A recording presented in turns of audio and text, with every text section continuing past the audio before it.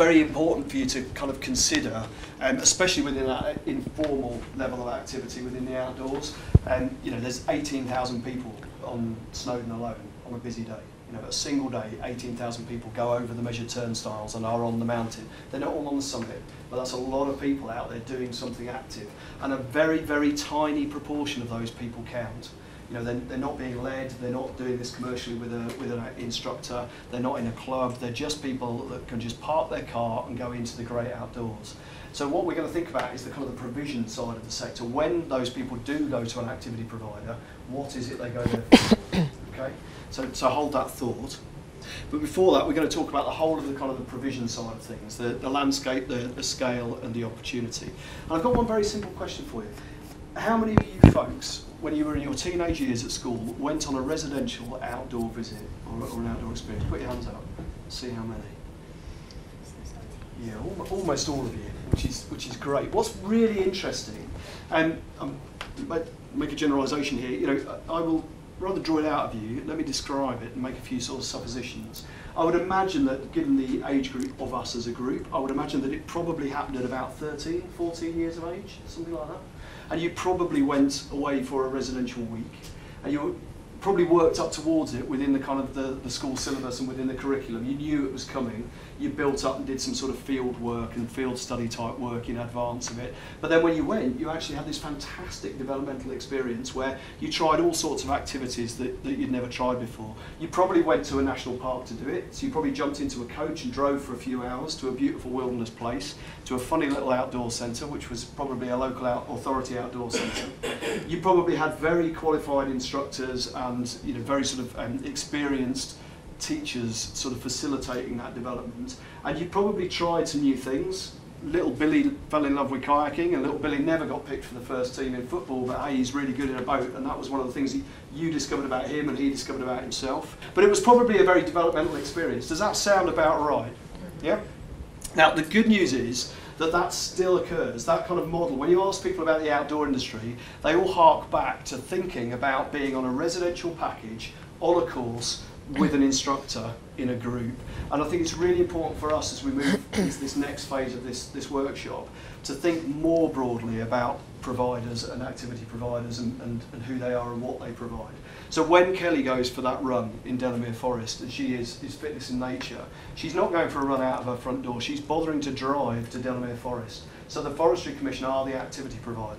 There's no group, no instructor, no course, no residential experience, but she's gone to that provider for specific reasons. And it might be that it's the parking and the floodlit trail and the toilets and the changing facilities, or, or that the guys there with their mountain bikes are there because of the bike wash facility and the cafe. Yeah? So we need to open our minds and think beyond the kind of classic model of the instructed residential out, outdoor activity course. Does that make sense? Happy with that? Excellent. Now the good news is that, that in terms of provision, that old-fashioned stuff is still going on. You know, it's still as healthy as ever. It's different. It's under threat, we'll talk about that in a minute. But it's also been sort of augmented by the, the modern phenomena of the micro-adventure. And we, we've moved into a world where people, you know, the, the experience economy, people want to buy an experience now. And rather than buying it by the week in a kind of big, lumbering, sort of residential way in, in you know, over the hills and far away in a national park, they want to buy it by the hour, by the, by the half hour, by the half day. And so that traditional model of the outdoors has been augmented by this sort of experience. So this is Exeter City Centre, Exeter Quay. How many folks have been to Exeter, Exeter Quay? Okay, not so many. It's a fascinating place. You know, if you, if you kind of go down there, you're in the heart of, a, of, a, of a, an English city. And what we've got going on here is a very innovative climbing competition. You can't, you can't see it as such, but on the other side of that panel, it's a, it's a steep overhanging climbing wall above the water in the quay. It's a deep water soloing competition. The great and the good of the international climbing world are going to get on that you know, step off a little platform and then have a climbing competition to see if they can climb to the top. And if they don't, they're going to dob off into the water, and it's all hilarious, and they're going to make fools of themselves. Very nicely packaged, very entertaining. It might be very elite, but it's very accessible for an enormous group of people. You know, it looks like a lot of fun.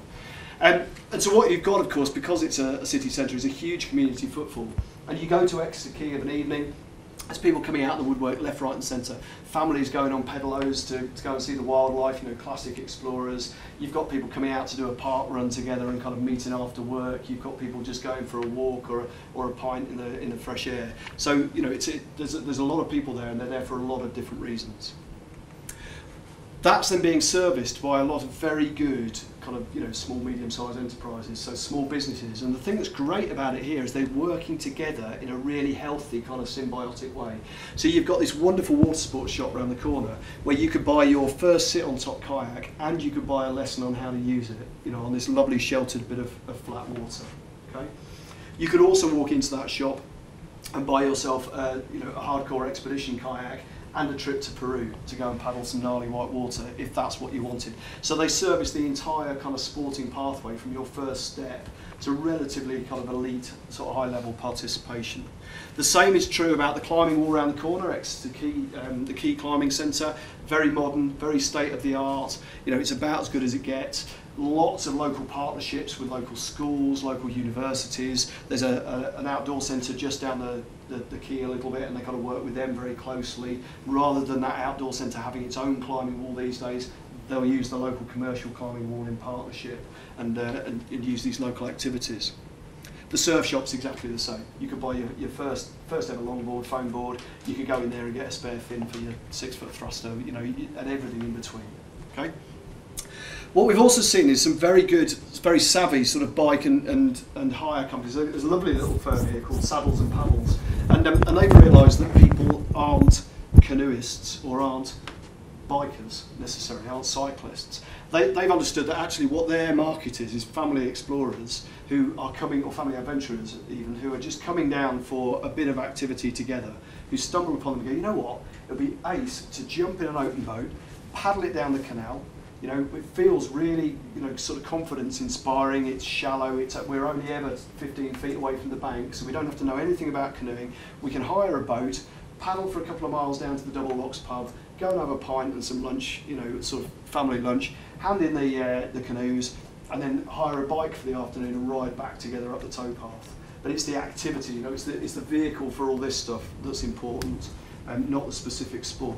Yeah, does that, does that make sense as well? And they're, they're working really nicely there.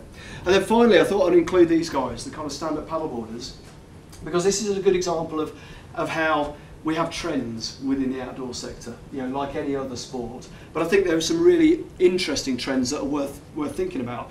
The outdoor industry is breaking down into ever increasing specialist niche and nuance. It's just like any other kind of you know evolving, emerging kind of market. So it's the classic long tail model. There used to be a few really big providers who would do a few of the really big key activities, and now there's a million and one different small little businesses that are all doing subtly different niche things. A good example of that within paddleboarding is this might be a new, a new fad, a new trend.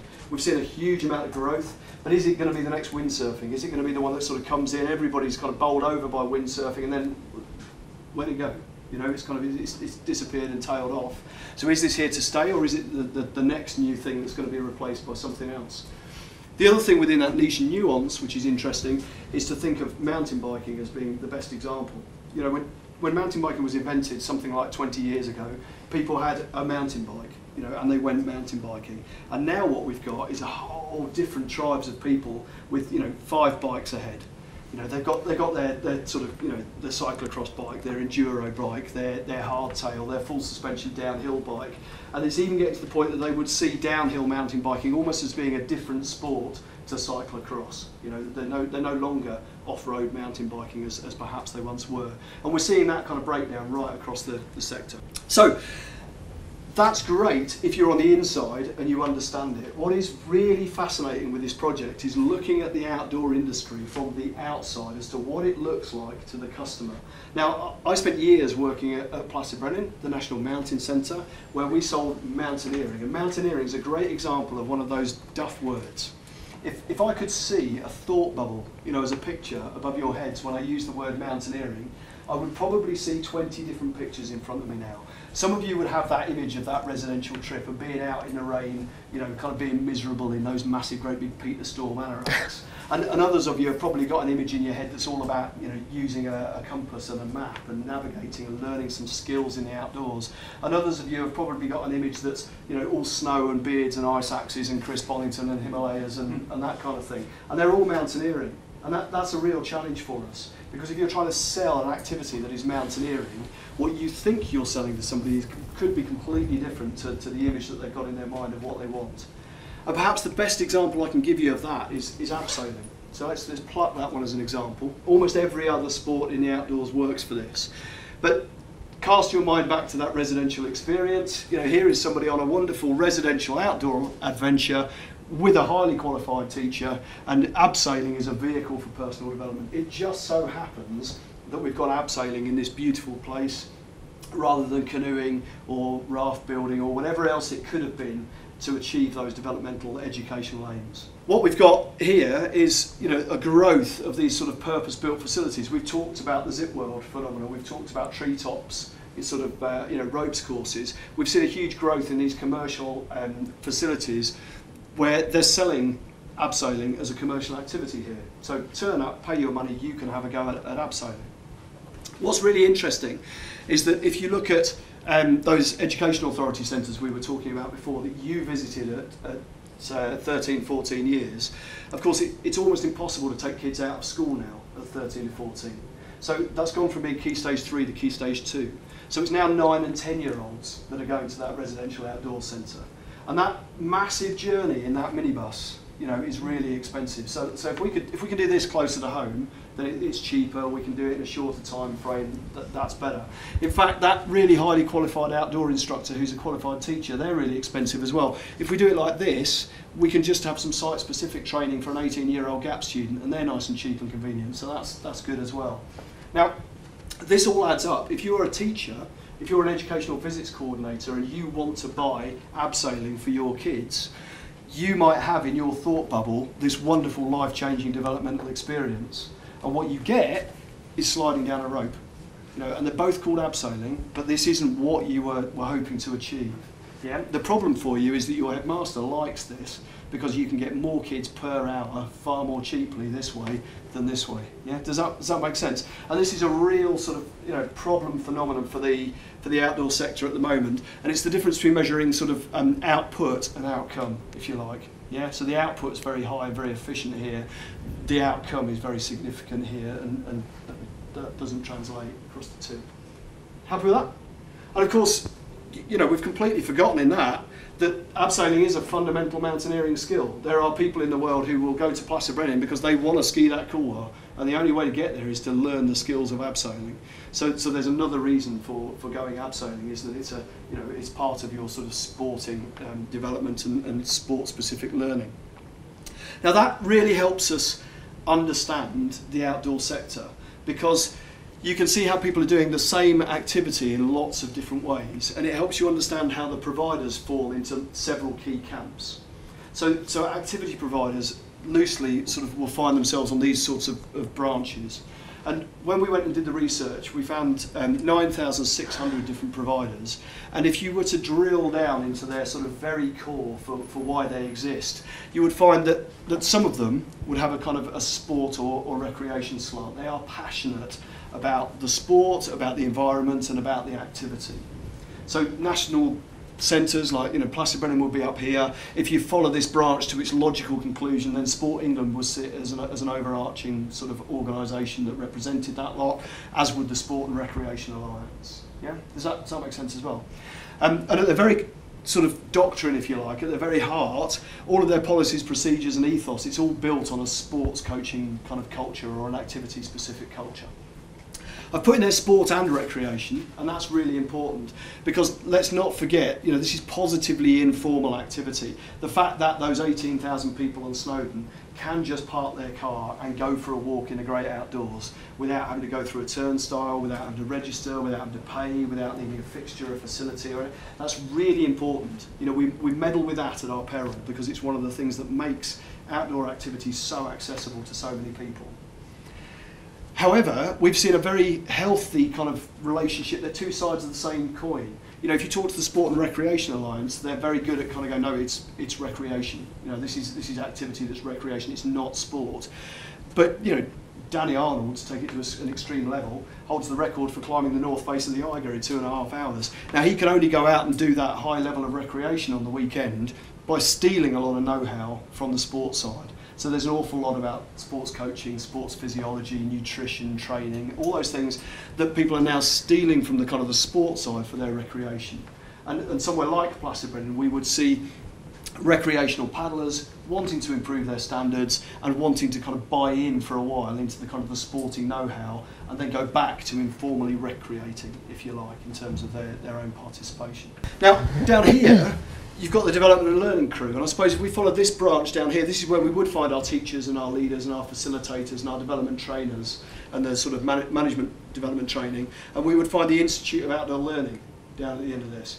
Because at Plas y Brenin, the Institute for Outdoor Learning were largely irrelevant to me, and vice versa. So that's not a that's not a hierarchical, judgmental thing. It's just the fact that you know a national centre in sport is not necessarily relevant to the Institute of Outdoor Learning, and, and vice versa. And so they're, they're a very different group of people doing it for very different reasons, built on an educational doctrine and a personal development doctrine rather than a sport-specific doctrine. Yeah. If we go down here, we're going down to the kind of the zip worlds, the climbing walls, the you know maybe not the climbing walls actually, but the sort of the ropes courses and the the commercial facility sort of development group, and probably down the end of here we'd probably find the health and safety executive to be quite honest you know, or some sort of you know, European norm for, for, for climbing wall structures or, you know, or, or whatever, and abseil towers. So, so that's a very different group of people. It, it's all about getting people in to um, pay for an activity, to take part in an activity. Are we interested in them having a lifetime in sport? No, not really. Are we interested in developing them and making them better people? No, not really. We're interested in coming back next time and having another go with their mates and bringing their family. Yeah. So that's that's kind of the difference there. Now there's this group in the middle that's that's really important, and we talked about the importance of finding people to participate with. There are some lovely examples in here. The social connection element is really important to folks. A lot of people would come to Plas y Brenin because if you live in the southeast of England and you want to go sea kayaking, one of the hardest things is finding other people to go sea kayaking with, and it's not safe to go and do it on your own. Yeah? And, and what we found is there's probably a great demand for this and not very much supply for this, or the, or the providers don't recognise the importance of this and in, in the role that they provide. Another good example um, within Snowdonia is we've seen traditional climbing clubs, single sport clubs, really struggling for numbers. We've seen adventure clubs where it's like, we'll come along, we'll do something different every week, and we're, you know, they're, they're absolutely booming. So the traditional model of clubs being sport specific is, is not necessarily working in the, in the, the kind of the modern age in, in the outdoors. Yeah. Now, just very quickly, and I will be quick on this, you can dig into this in the report. I won't. They might be different, but they all rely on each other you know, and, and just to summarise the detail of that, it's very simple. These guys might be all about the sport and the activity, but they actually provide the national governing body training and assessment of awards that qualify mountain leaders to deliver this stuff or to deliver this stuff. There's a huge amount that this lot have learned about the soft skills side of facilitation and education and development and, and, and the sort of the customer experience, the quality of customer experience will fall out of the educational side into the commercial facilitation. And you could be the most hardcore elite sports organisation in the world, but you've still got to balance the books. So an awful lot of people rely on doing some of this for an income stream. Okay? And that's really important because almost all of these providers therefore do a bit of, of everything. Why is that important? Well, when you look at who we found, um, don't worry about this. These, these are just some threats. It's not all positive either. You know, these guys will see the kind of the Disneyfication of, of their activity as a real threat. You know, and these guys will see the, the sportification of recreational activity as a, as a real threat. The, the more you do this, the more the eyes of the, the health and safety executive are on you, and, and you know, the more sort of industrial it becomes, and that and that's a real threat. And why is it important? Well, when you try and segment the different types of providers, you can't do it by activity because they all deliver a bit of everything. And you can't do it by sport because they often deliver four or five different sports. So it just doesn't work. And what we found were 9,600 different activity providers in the outdoor sector. And we found they loosely come under these 21 different headings. So I'll talk you through some of the, the important ones, but you can, you can look all this bit up in, in the report. It's all in there. Okay. What was really interesting is that, let's start with the big picture, that 9,600. Nobody expected us to find that many. The Adventure Activities Licensing Authority licenses and regulates the outdoor sector. And that was set up in the mid 90s after the Lyme Bay disaster. It was the first time there was any kind of licensing or regulation at all. And it was set up to license the commercial delivery for under 18s of 25 key outdoor activities. Okay? Now, there are 1,438 ALA licenses, so only 15% of the providers are licensed, and the rest of them are all completely unregulated.